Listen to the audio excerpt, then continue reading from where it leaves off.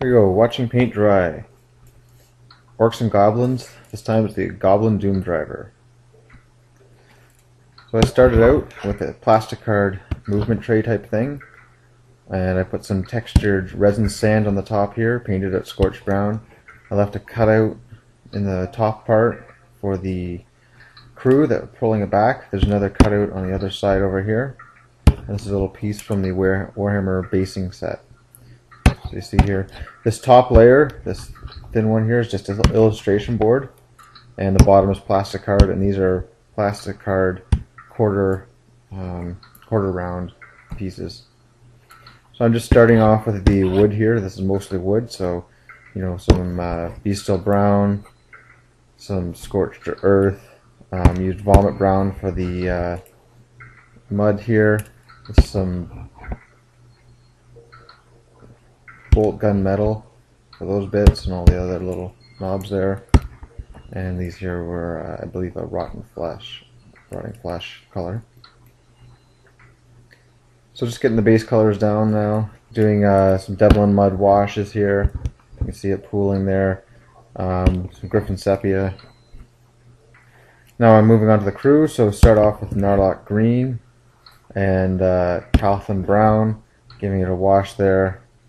Um, this uh, this guy here I lost one of the crew members, so I'm using his him as a stand-in. He's an old Gretchin from the uh, Hopsplat field gun 40k a long time ago.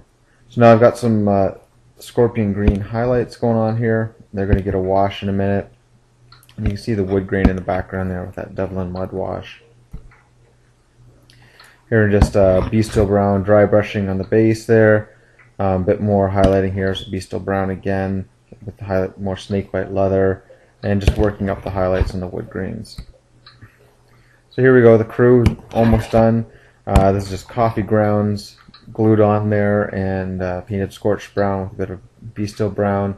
The green is just the scorpion green with Thraka wash, and the ropes here, same idea as on the catapult. Uh, this is just a bit of scab red and uh, snakebite leather there. There you go, this guy's getting close, trying to build up some highlights here. I ended up redoing those a bit, you'll see later. Um, bolt gun metal is going to get washed. This here's got the uh, GW blood red highlights on it. Just adding some teeth in there, a bit more detail on there. Kind of putting it back together, getting pretty close now. Here we go, we got some uh, static grass in patches. And these things here, which you'll see a bit later, those are the swamp tufts from Army Builder. And uh, just another wash on here. So this is um, some uh, Gryphonne Sepia wash over top of uh, bleached bone sort of color. And then what I did, I put a flying base in the corner. I just wanted to be nice one unit that would go together. Actually, if you go back, you were to see the hole I drilled in the stomach. Um, the uh, the Highland Tuft, or sorry, yeah, Highland Tuft from Army Builder. They have swamp ones and they have forest ones as well. And you can see this guy. So look like coming forward. yeah, I went back, went together pretty quickly. Mean, it's mostly just the browns there, a little bit of red, green, and just a couple different variations of the tones to give it uh, stuff. The uh, bolt gun metal, just you know the typical bolt gun base, battered black, Devlan mud washes, and a bit of chainmail edge highlighting. And you're good to go.